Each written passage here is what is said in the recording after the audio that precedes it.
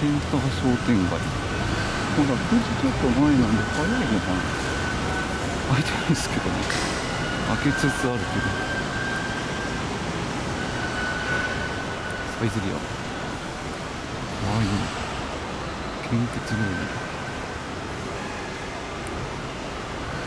楽天？楽天もあったなモバイルの？楽天。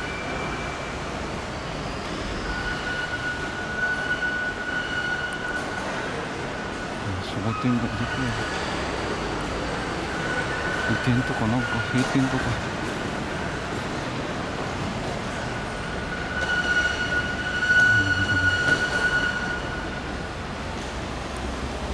こはなんだ。そこも移転するところかな。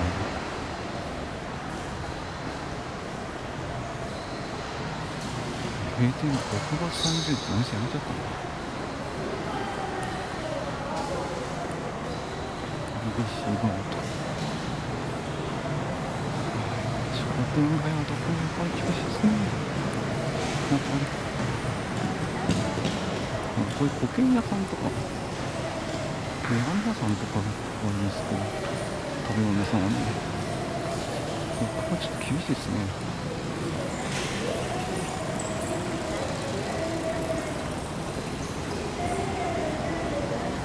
カンドストリートは中古屋さんでしたっけ？リサイクルショップ